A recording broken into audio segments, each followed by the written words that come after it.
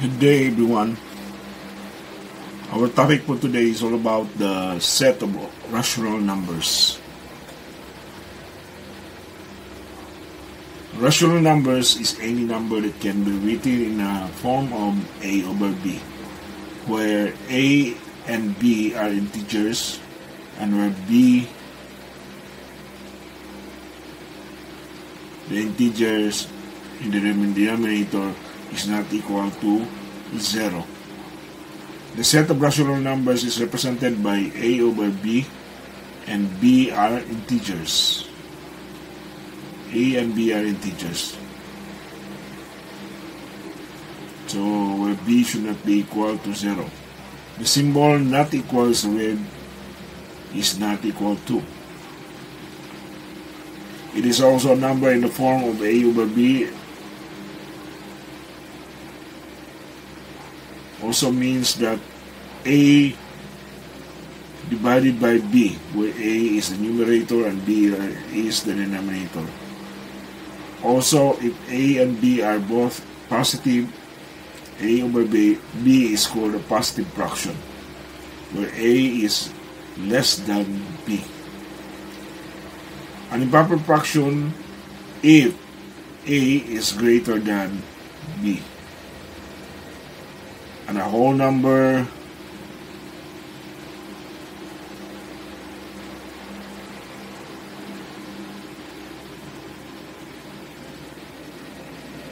A whole number if b divides exactly a.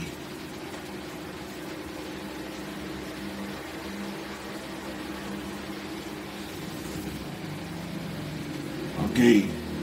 Number one example. Explain why each is a rational number. Why 4 over 5 is a rational number? Because it is a quotient of two integers and the denominator is not a zero. So the fraction of 4 over 5 is in the form of a over b where a is equivalent to 4 and that is the numerator and b is equal to 5 where it is served as a denominator. For a fractional number negative 5 over 3. Yes, it is a fraction and it is a rational number because it is in the form of a over b where a is negative 5 and b is equal to positive 3 or we let b be equal to negative and a will be positive 5. Letter C. Okay. Why 8 is a rational number? A because 8 is a bit rush, uh, it can be given or written in the form of rational form. Uh, can be 8 over A or 16 over 2 or any number, greater numbers will do for as long as the answer is equivalent to 8. Thus, every integer is a rational number. Letter D. Why the reason, what do you think is the reason the decimal number 0.5 is a rational number? Another is 0.75. Because it can be expressed as a quotient of two numbers and 0.75 can be transformed into fractional number 75 over 100. And 75 over 100 is equivalent to 3 4 where A is 3 and B is equal to 4. For letter D, ah, ano, sorry, E.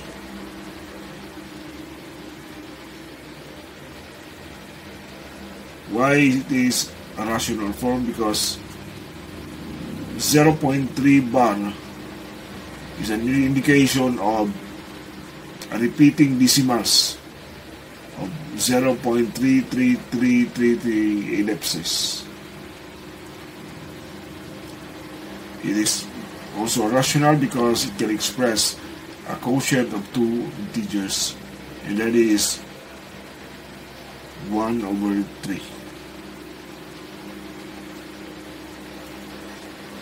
So we have here the two properties that will help us to understand more about rational numbers. Property number one, that every rational number can be represented by either a terminating decimal or non-terminating decimal, repeating decimal. So always take note with that. Wherever you can see a decimal number which is a terminating decimal, it is rational. A non-terminating but repeating decimal is also rational.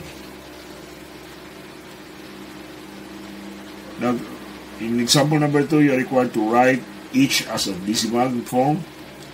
So, what is the corresponding decimal value of 3 over 8? Negative 3 over 8 is also equal to negative 0.375.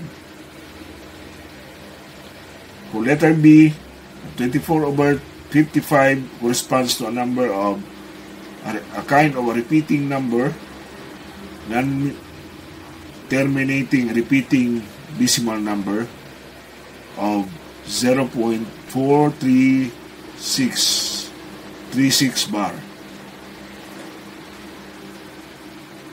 Another property, every terminating or non-terminating repeating decimals represents a rational number. For example, in letter A, 0.125 can also be expressed as negative 125 over 1000 or simply it is equal to negative 1 over 8. For letter B, 3.45 can also be rational informed by uh, moving the decimal two places to the right and you will obtain 345 by 100. For letter C, 2.5 bar is equivalent to 25 to 5 bar over 10 and that is 5 over 2 For letter D and negative 0.23 bar is equal to 23 over 23 bar over 100 for letter E 3.25 bar. It can be equal to 3.325 uh, bar over 100 and can be simplified to the simplest form of 13 over 4. Note that in repeating decimal or terminating decimals, every recurring number is 9 and every number is not recurred is 0. Try it activity, so you, you'll be tasked to perform it later. Okay, a number line can use can be used to order operation numbers, order rational numbers rather. So if the rational numbers lies on the right of the other of another on the number line, then it is greater than the other rational number. So if rational number lies on the left of the other another number on the number line, then it is less than the other rational numbers. Now, uh, first, uh, the fourth example here requires you to arrange the following rational numbers depending on the order. Letter A requires you to arrange the numbers given in ascending order. When you say ascending order, from least value to the greater value. So you have you can arrange this in the form of negative 3.5 followed by negative 2 is increasing followed by 1 half by next is 3 and 1 half then last is 5.1 while in letter B the given are required, rational numbers are required to be arranged in descending order. For descending order, it will start from a greater value down to the least value.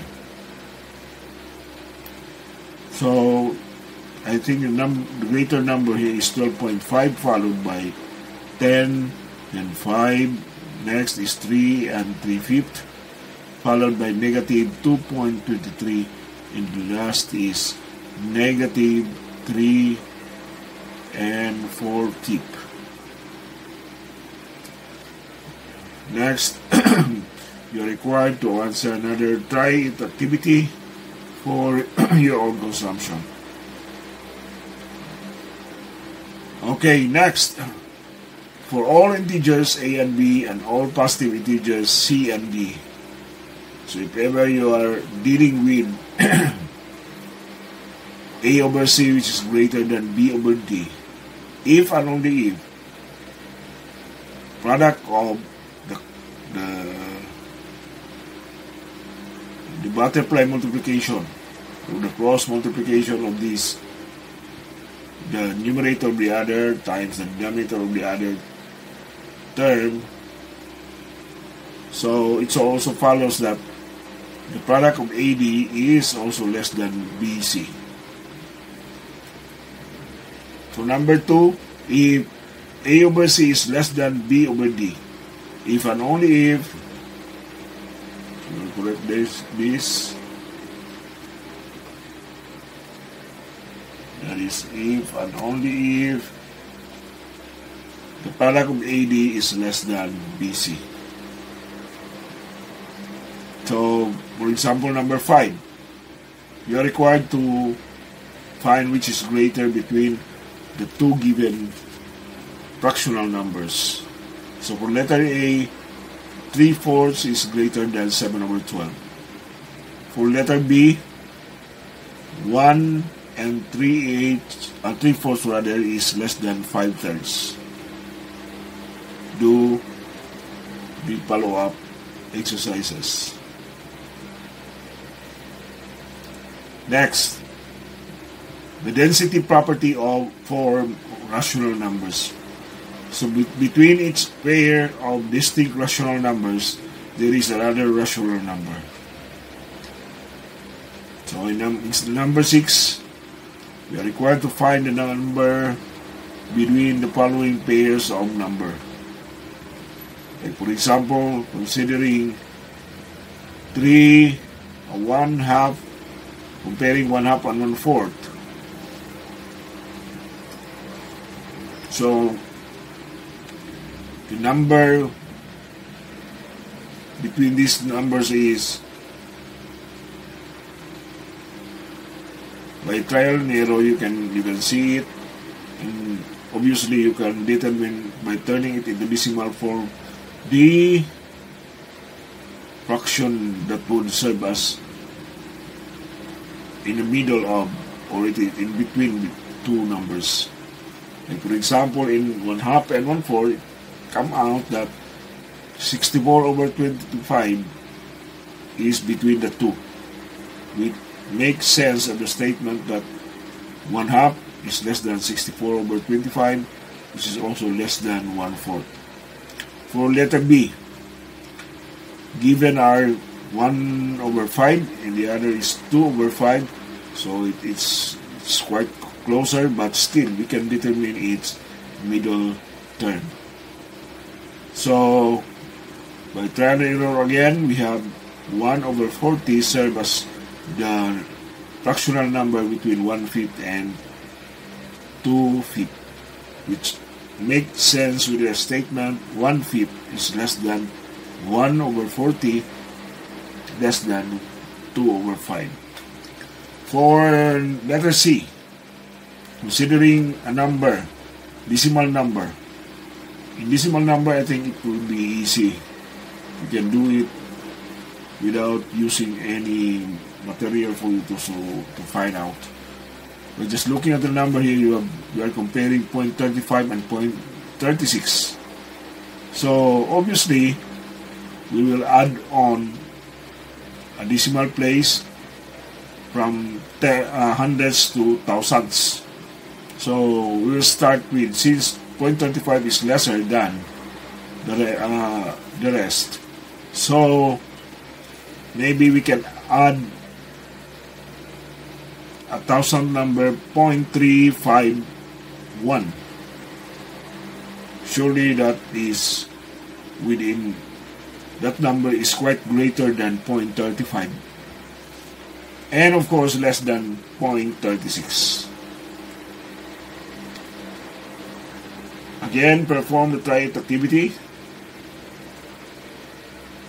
for you to practice. Now let's now uh, let's proceed this time to the operations with rational numbers. If a over b and c over d are rational numbers, then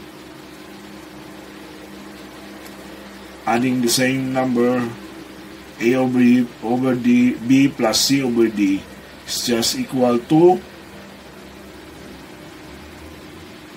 a over d ad you multiply multiplication. So a times b over the product of the denominators which is b times d. So bd plus bc over bd would be that would be equal to the common denominator which is bd and the numerator or the sum of AD plus BC. But uh, this operation has uh, its own limitation, particularly when are dealing with three or more fractional numbers. So I think it's pretty much uh, applicable for us to use immediately the common denominator, finding the common denominator, and the best way is to the safest way, way is to multiply the denominators. And after that divide it by each denominator. The product will be divided by each denominator. Multiply to the numerator of each term. So I think that's the third step would uh, satisfy that idea. Same thing with subtraction by the way, for multiplication of numbers, fractional numbers, always bear this in mind that you will multiply numerator by numerator, denominator by denominator. So multiplying a over b times c over d is equal to ac over bd. In division, there is a twist in this case. If you are required to divide a number, it's just the same that you are multiplying the inverse of the multiplier. Since we are talking about fraction here, like for example, a over b divided by c over d is equivalent to a over b multiplied by d over c. So the inverse value of c over d is d over c. And after that, multiply numerator by numerator, denominator by denominator, which is equal to AD over BC. Take note that not any of the denominator should be equal to zero.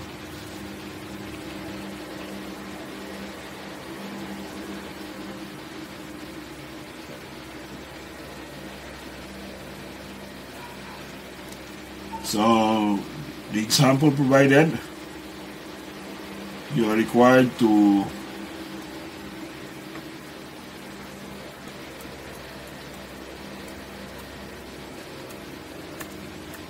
simplify the given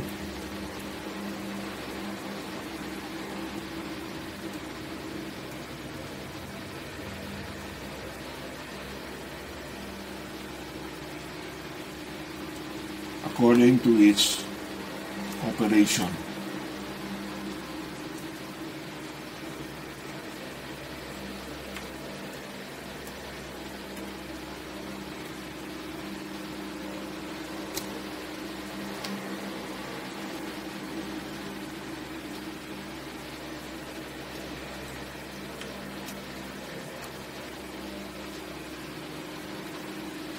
By the way, we are using the same process here. The only thing that always remember that when you're adding or subtracting fractional numbers, always identify exactly its uh, common denominator for you to obtain the final answer. So it's clearly we I think we discussed this already if you're adding or subtracting uh, improper fractions, you should the safest way is to convert into a mixed number rather is to convert into um, an improper fraction so that you'll be guided accordingly.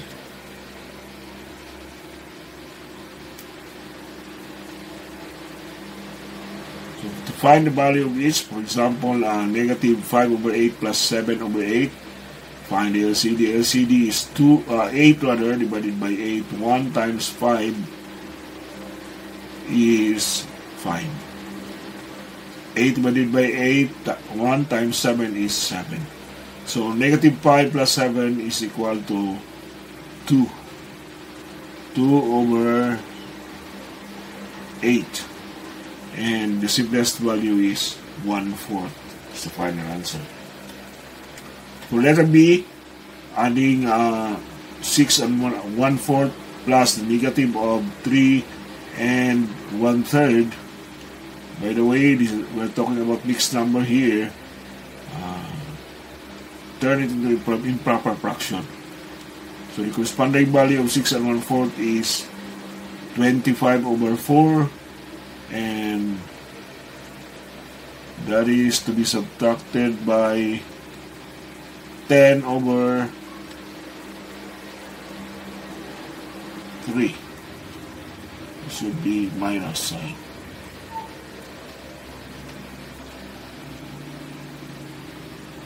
The LCD here is 12 divided by 4 times 20 3 times 25 is 75 minus 12 divided by 3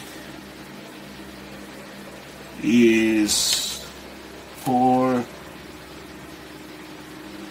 times 10 is equal to 40. So that the difference of 75 minus 40 is not 115 but 40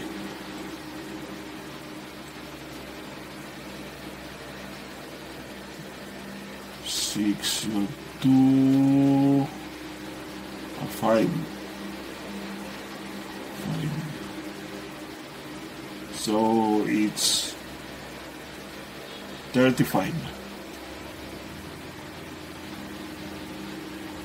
35 over 12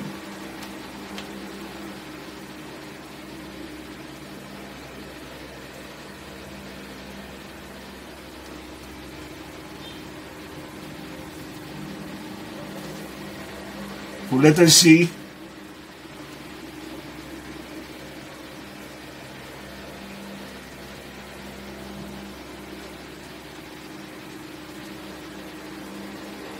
you do the same process and letter final answer of letter C is 53 over 35 while in number 4 the answer is 0 by the way in adding uh, decimal numbers you just align the decimal points then simplify it accordingly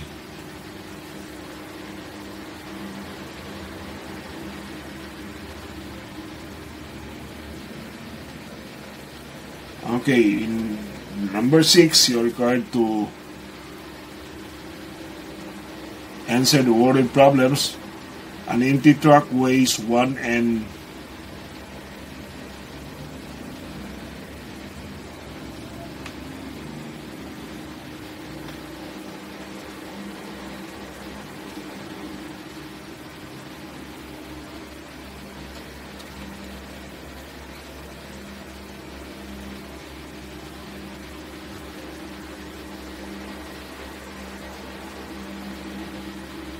I think we need to add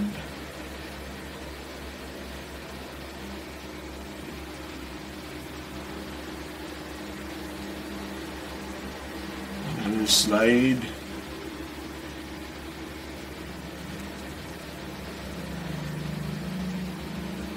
So in order for us to clearly see the numbers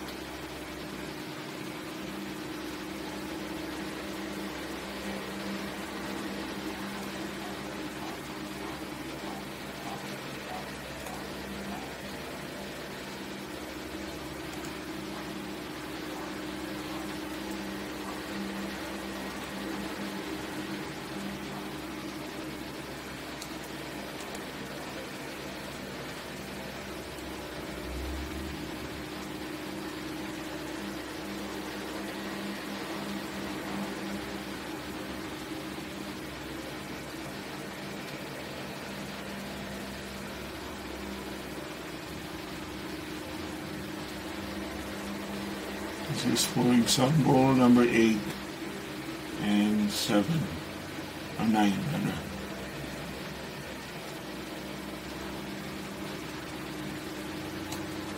So I think we should also separate uh, new slide for this.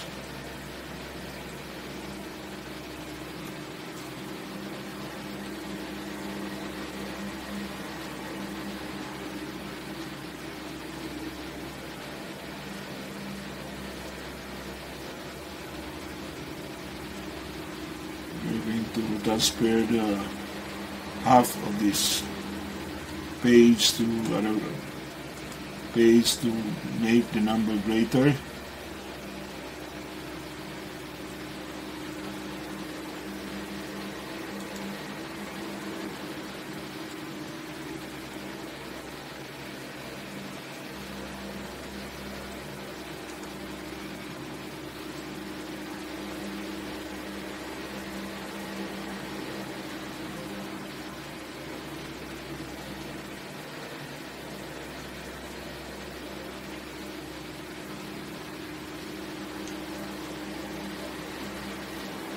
Wait for a while.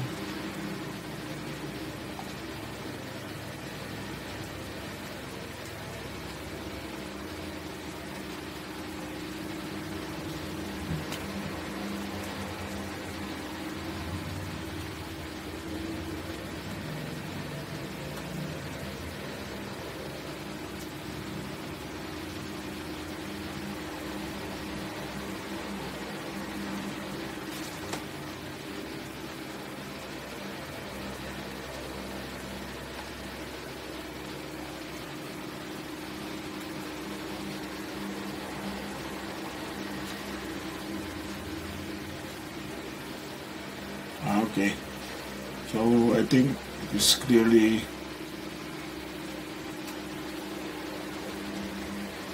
it is very clear now for us to understand more about the idea. So going back to the example, number 8, an empty truck weighs 1 and 5 over 8 tons. The weight limit of the small bridge is 3 and 3 4 tons. By how many tons is the truck under the limit when it carries a 1 and 1 half ton load? So we will put it this way. The original uh, limit, weight limit of the bridge is 3 and 3 4 tons. And that is to be subtracted by the sum of the net weight of the truck, which is 5, 1 and 5 8, by the load. The sum of uh, their sum, the net of net weight plus the load, which is 1 and 1 half ton. So simplifying further, we have we are turning it into a mixed numbers. We have 15 over 4 tons is subtracted by 13 over 8 tons plus 3 over 2 tons. So finding the sum the two, the sum is equivalent to 25 over 8 tons.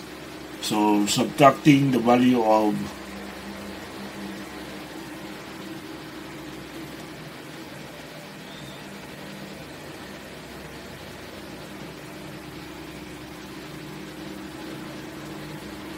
Fifteen over four tons by twenty-five over eight tons.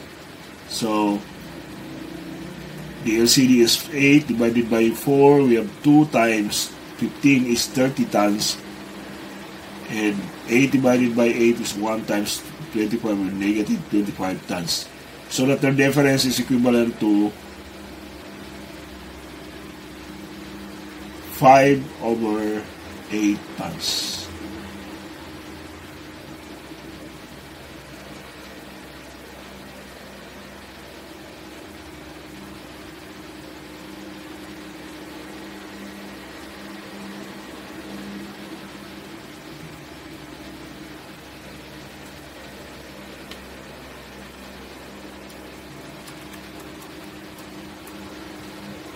Okay. For the next example, subtract from 15 and 1 half the sum of 2 and 1 third and 4 and 2 fifth. So, it's very obvious in this statement that we will subtract the sum of 2 and 1 third and 4 and 2 fifths by 15 and 1 half. So, turning it again to mixed number, from, mix, from mixed number into improper fractions. So, we have 7 over 3 plus, the quantity of 7 over 3 plus 22 over 5 will be subtracted by 31 over 2. Okay. So finding the sum of the quantified form, so it is equivalent to 105, 101 rather over 15. Minus 31 over 2. So the least common denominator is 30 divided by 15 is 2 times 101 is equivalent to 202. That is to be subtracted by uh, 30 by 2 is 15 times 31. We have negative 4, 465. So that their difference is equivalent to negative 263 over 30. Perform the tried activity. And so with the assignment. Let's proceed to example number 10. again uh, we will see, we'll try to separate this first into two slides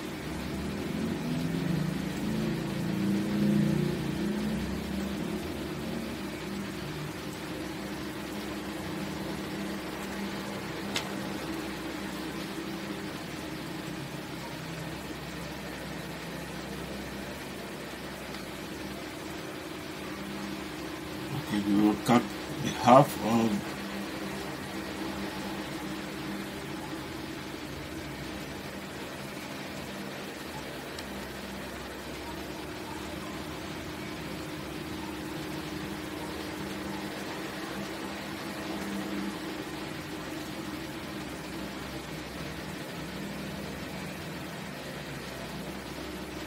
okay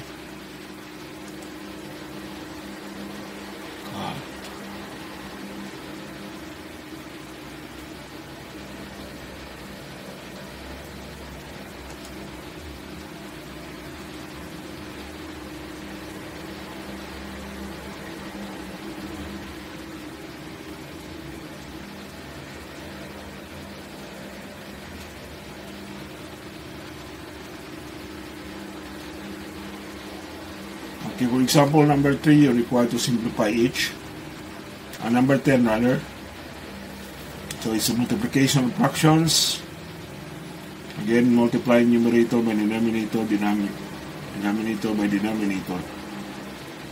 But before that, if you're dealing with mixed number, turn it into improper fractions for you to be guided accordingly.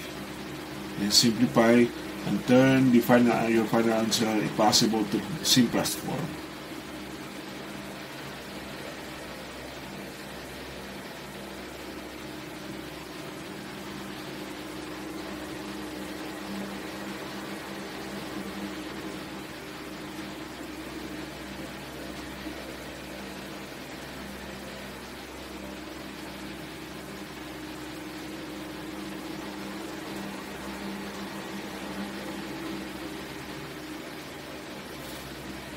Okay.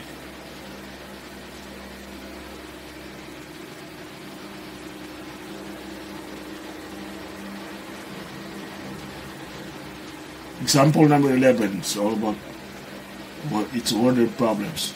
Julie spent three and a half hours during her assignment.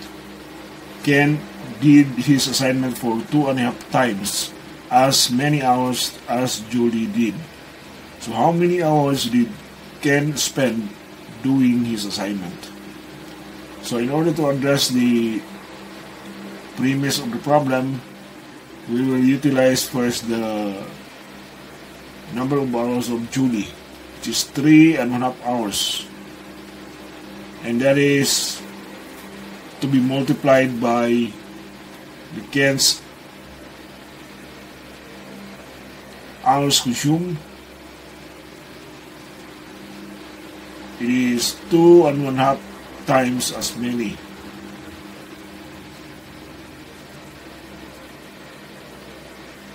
as Judy. Now, how many hours did Ken spend during his assignment? So we will utilize in a way of multiplying uh, Judy's time by the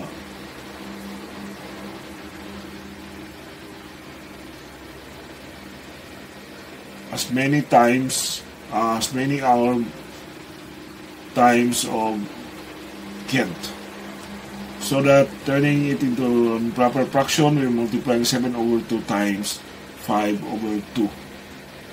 So the answer would be 35 over 4 hours.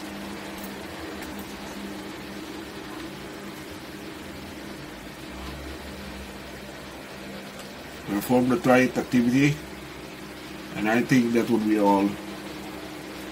Thank you everyone. This is your teacher, Cedric A. Borres. Bye.